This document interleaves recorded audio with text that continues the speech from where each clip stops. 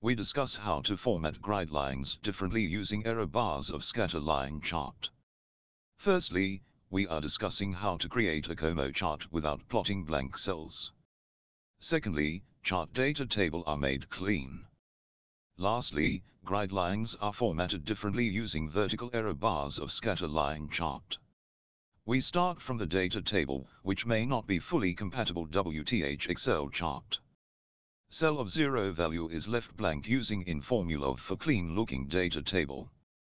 This is formulated using Excel function if. If cell value is computed as zero, then the cell is left as blank using 1. Create a combination chart as the first trial. Take the steps. Select Chart Data Range. Choose Insert tab on the ribbon. Press an icon for combination chart. An error message is prompted. It is not possible to create a chart due to cells left blank. 2. Create chart from more or less scratch by using a recommended chart function. Select Chart Data Range.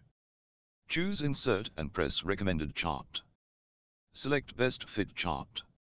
Move the chart to your position. Resize by pulling the chart area. 3. Specify the chart type and axis of each series. Follow the procedures. Right-click the chart.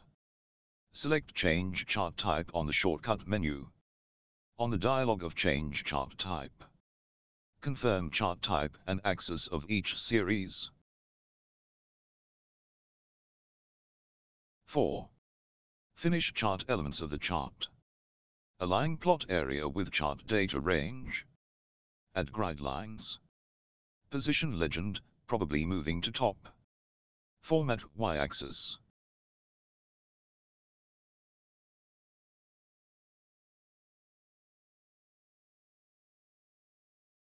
You can take note that blank cells are plotted as part of chart in incorporation. It would be better not to show the blank cells. 5. Blank cells filled with hash n forward slash error mark. Not to plot the blank cells on the chart, we need to replace the blank cells with n forward slash error. All the double quote in the formulas are repulsed with Excel nar function. Hash n forward slash are filled in the cells which were blank. Now initially blank cells are not plotted in the chart due to the Excel nar function. 6. Hash n forward slash in the cells are made invisible by changing to white. This is done using conditional formatting function. Follow the steps below. Choose conditional formatting in styles group. Select new rule in the shortcut menu. In the window select a rule type on the new formatting rule dialog. Select format only cells then contain. Select errors for cell value.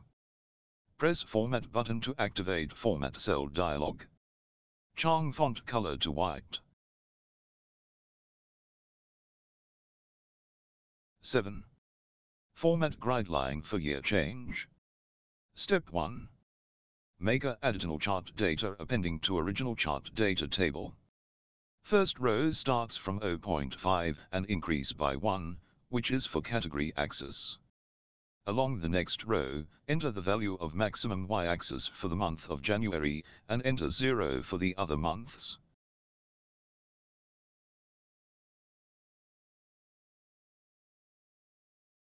Step 2. Add scatter line series chart. Right-click the chart and choose Select Data.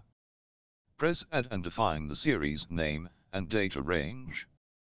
Edit the horizontal, category, axis labels. Change the chart type of the new added series to stair line.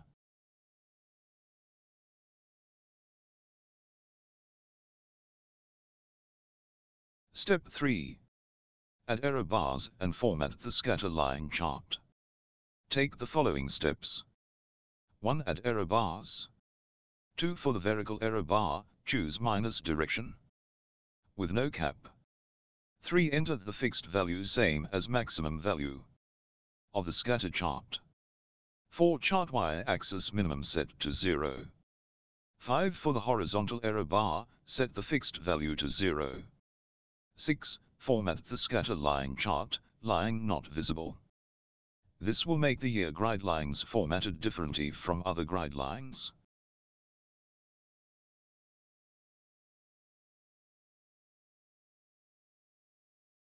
Year guidelines are formatted differently this way.